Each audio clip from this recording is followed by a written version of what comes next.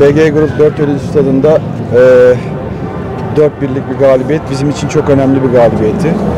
Bundan sonra hedefimiz e, yukarısı her zaman olduğu gibi. İnşallah yeni transferlerimiz e, bugün daha da iyi performans sergilediler. Önümüzdeki haftalarda çok daha iyi oyun oynayacağımızı planlıyoruz, düşünüyoruz. Teknik heyetimize, oyuncularımıza, seyircimize hepsine çok teşekkür ediyoruz.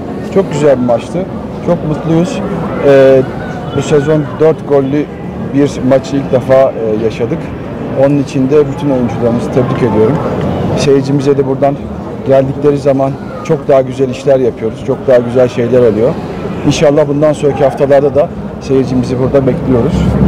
E, elimizden gelen her şeyi yapmaya çalışıyoruz. Evet, önümüzdeki hafta Kasımpaşa maçı var. Kasımpaşa'da üstümüzde 5. sırada.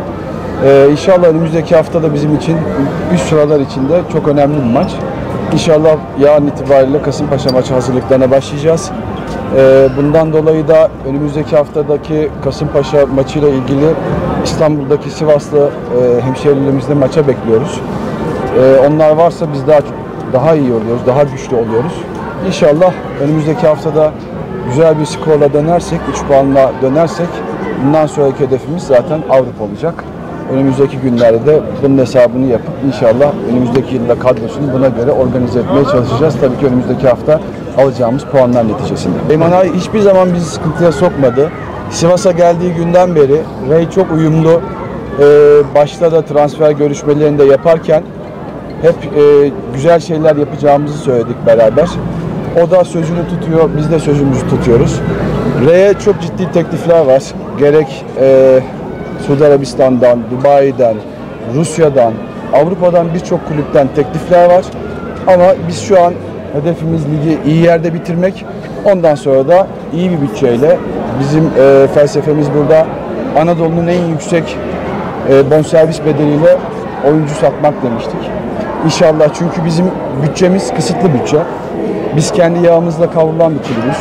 Sıralamada yani lig sıralamasındaki en aşağıdan ikinci bütçesine sahip bir kulübüz. Haliyle gelirlerimiz belli, destekler belli. Kıt kanaat bir şeyler yapmaya çalışıyoruz ama elimizdeki imkanlarla en iyi işleri yapmaya çalışıyoruz. Oyuncularımızı da bu şekilde motive etmeye çalışıyoruz. Ama burada bir aile havası, bir kolej havası, e, çok güzel bir uyum yakaladık. İnşallah bundan sonraki haftalarda da bunun üstüne koyarak daha iyi skorlarla ligi çok daha iyi yerde bitirmek istiyoruz. E, Pendik Spor'a buradan teşekkür ediyoruz. E, iyi bir maç oldu. Onlara başarılar diliyoruz. Evet omuzuyla ilgili problem var. E, doktorlar e, MR çektiler. Neticesini e, bugün ya da yarın alacağız. Kendisine de acil şifalar diliyoruz. İnşallah en kısa zamanda gelip takımımızdaki yerini alır. E, ona da geçmiş olsun diliyoruz.